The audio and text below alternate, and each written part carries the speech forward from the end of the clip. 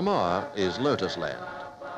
In the lush warmth of its tropical climate, tempered by the coolness of tall volcanic hills, food grows abundantly.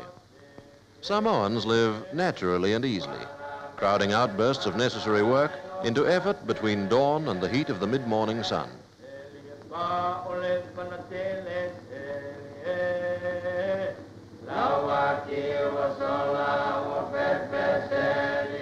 Materials lie close at hand.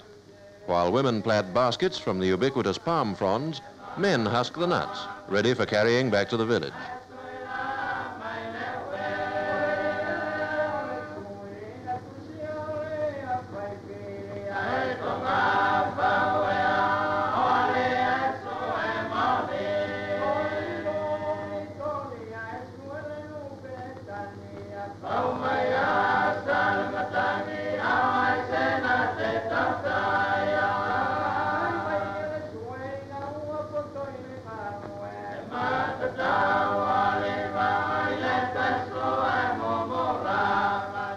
With deceptive speed that reveals little of the skill and effort involved, the meat of the nuts is stripped out.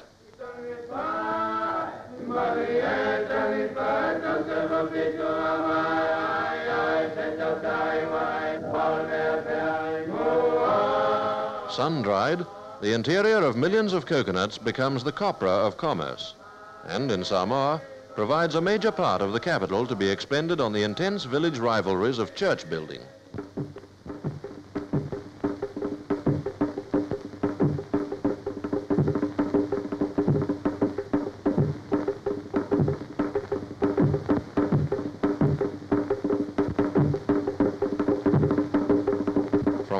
Near, the drums call the able-bodied men to work on the church.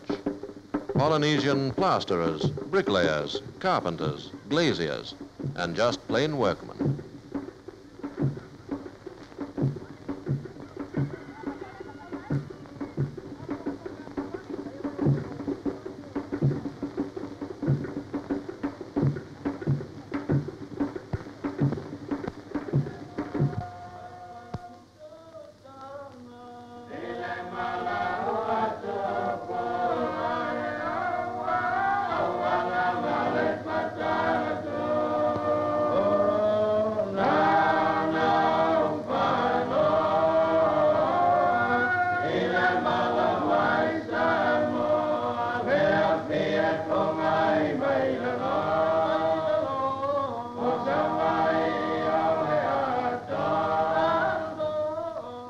Chiefly architect directs operations in person, carrying plans, elevations, structural and decorative details in his head.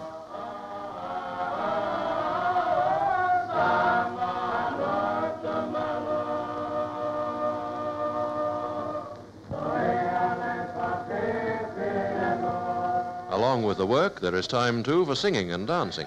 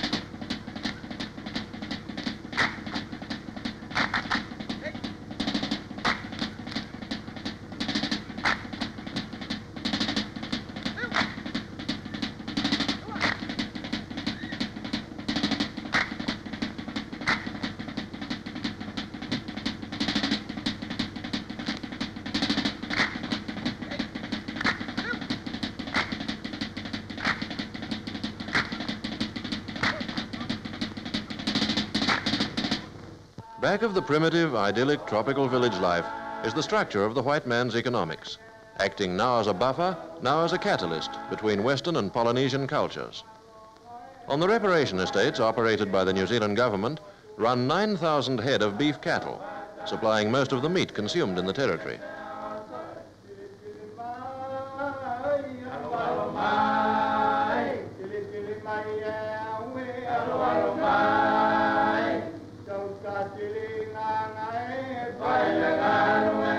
From the reparation estate plantations and through their treatment plants flows a good deal of the territory's rich output of copra.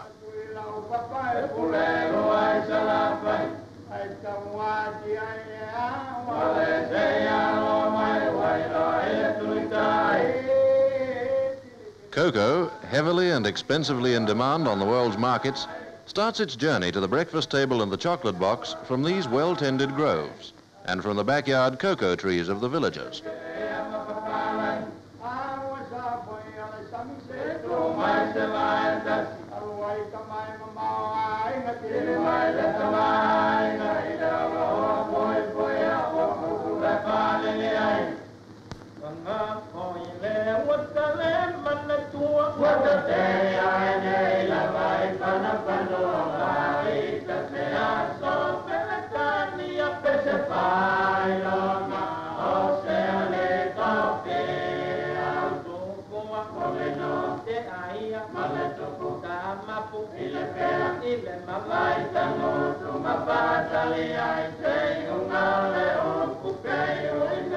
Coconuts here go whole to the factory set up by the government to process the fruit into desiccated coconut, to trim and flavor cakes and confectionery all around the world.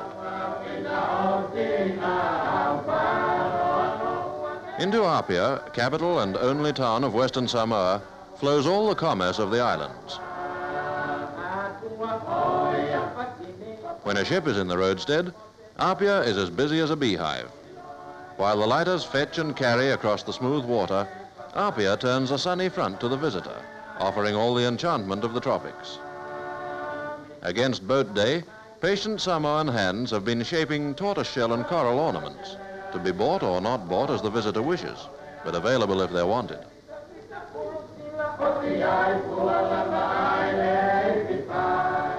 Behind the town stands Mount Vaea, hilltop resting place of Robert Louis Stevenson, object of a thousand quiet pilgrimages, which by its loneliness never fails to still the tourist chatter. From Vaea, beneath and across the dense jungle, can be seen Vailima, once Stevenson's home, and residence now and for many years of successive European administrators.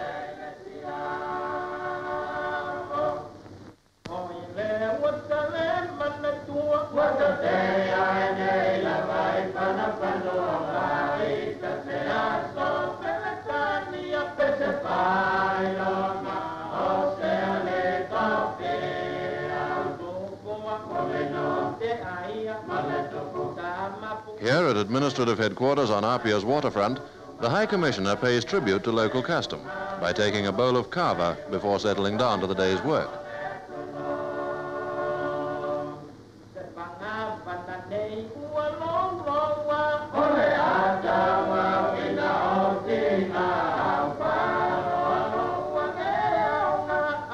Especially important here, as on all tropical islands, is the medical service.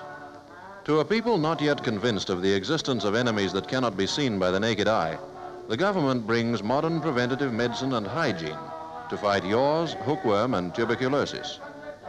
In the well-run Central Hospital, the future is looked to as carefully as the present. Samoan girls receive nursing training from a qualified European staff.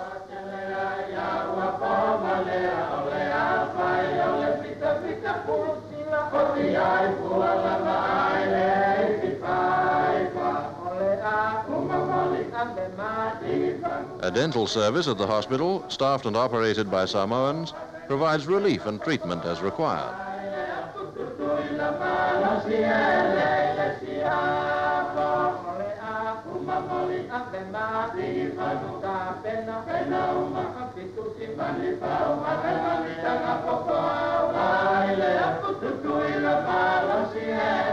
Samoan medical practitioners carry preventative medicine into the most distant villages, guarding young and old against the scourge of yaws.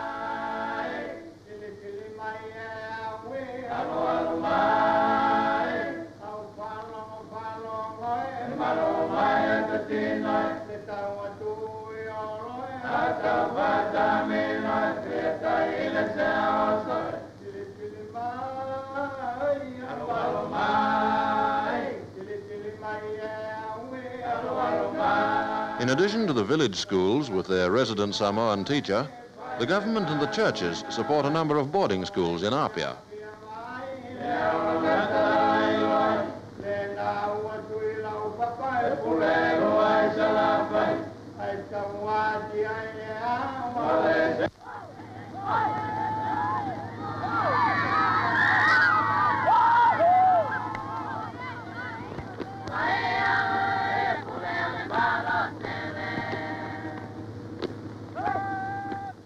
On the list of sports in and out of school is cricket, in a special Samoan version, with unlimited numbers to each team, balls made from Samoan rubber, and bats designed to give full play to the wide-open Samoan style of batting.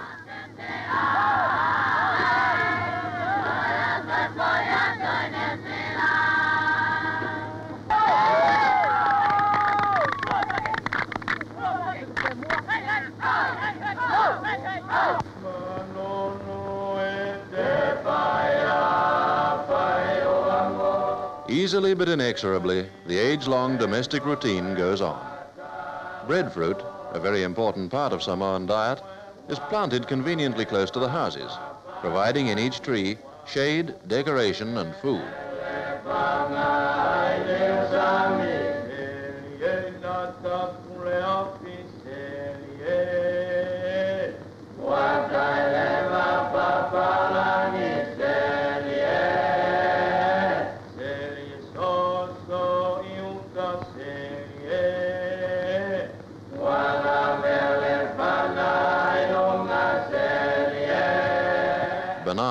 For local consumption and for export, are grown extensively and along with the pawpaw or mummy apple, make a useful addition to food supplies.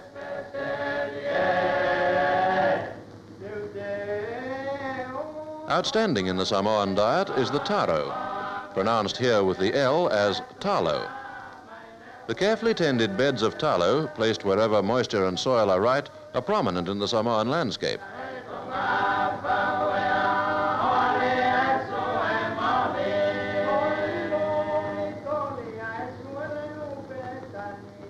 The root is the main source of food in the talo plant, but the leaves also make a useful green vegetable.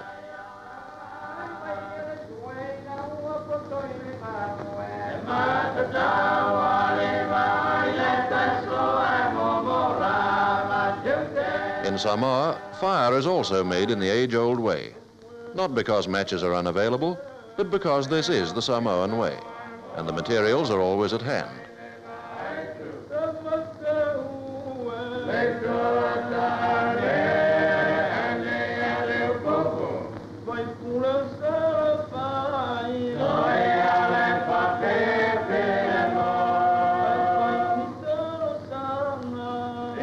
Here too, the stone or earth oven is still the commonest, most used and best liked method of cooking.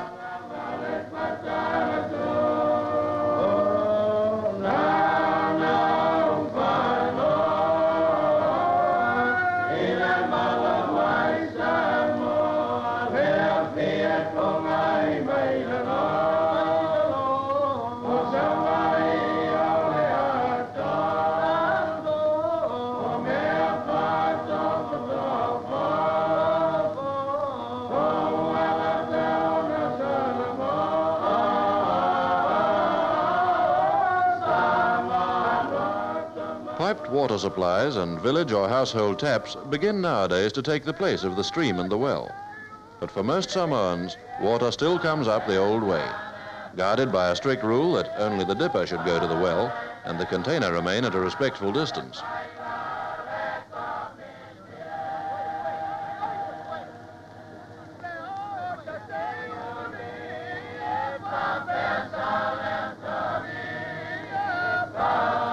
Though churches may be built of European materials, houses remain traditional. Men of the ancient builders' guilds put the utmost of craftsmanship into the intricacies of roof structure. For the roof in Samoa is the house, in this gentle climate where no walls are needed but a palm leaf curtain.